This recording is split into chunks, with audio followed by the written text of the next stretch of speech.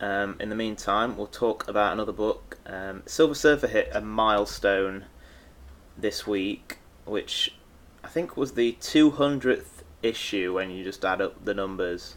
Um, Marvel have a fun way of deciding when they hit milestones. I think they just make up as they go along sometimes, but occasionally they'll count miniseries or they'll just look at ongoing or they'll just they'll make it work. They'll budget somehow. and apparently this is the 200th uh, issue milestone. So Dan Slott and Mike Allred's series has been going on for quite a while now. It was pre Secret Wars as well, wasn't it? Mm-hmm. Um, and I don't really know what the hell's going on in it. So have either of you been reading this book? Um, Yeah, but I also don't know what the hell's going on in it.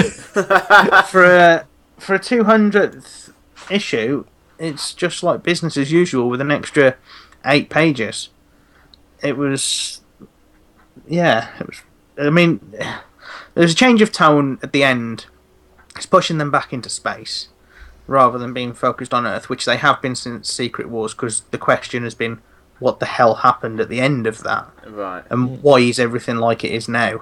right. and there's been a lot of things to do with celestials and being outside the universe looking in and all these all these different angles they've explored which eventually brought them back to earth and then started exploring dawn's background but it seems really confusing that they continued that in this special event really yeah, it was a really strange angle to take, and the the story even around um, Norrin was just weak.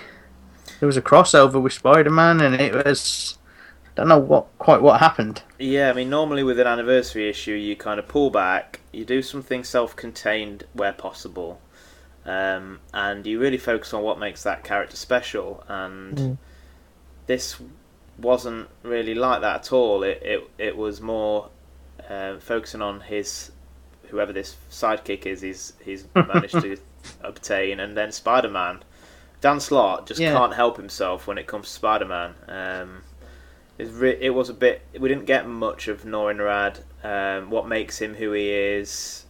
Um, he ha- he has one kind of sacrificial moment that isn't really a sacrifice, um, as he uh, you know saves the day ultimately. But I don't know. I mean, there, All it says is that he's overly attached to Dawn, and he needs to chill out a bit and come off the gas. I mean that it's really weird. He's got a job to do, and he's not doing it because he's too busy gallivanting around. yeah.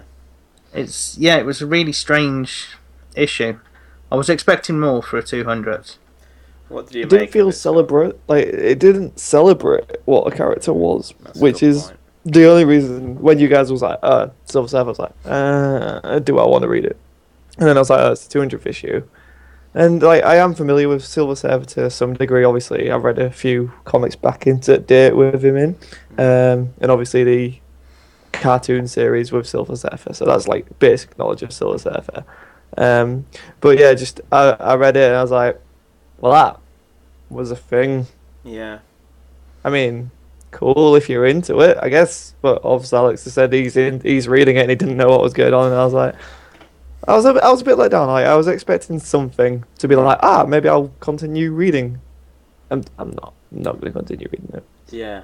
Um, when I heard that this was an anniversary, it made me think of a, a mini series that um, I really love called Silver Surfer Requiem, and it's it's by Joe Straczynski, um, JMS, who was the Babylon Five guy, and then wrote Thor, and it's I think it's six parts, and the art's by Esad Ribic, who did Secret Wars. Um, and it explores the character's sort of final days. He's he's fatally ill, and he has to choose what he's going to do with his last days in the universe. And he kind of explores all the different elements of the character, and it is absolutely amazing. Um, and it shows why the character is so great.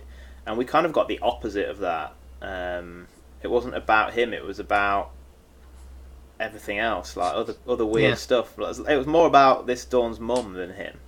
Mm-hmm. Um, it was just yeah, quite quite disappointing. But then I haven't been reading it recently, so and I'm not. It's not like it's spoiling something that I've been reading for ages or anything like that. But I don't know. It's just a shame. it could have been an opportunity to get more people reading Silver Surfer. Mm. Yeah. and I don't think this is the kind of book that will do that.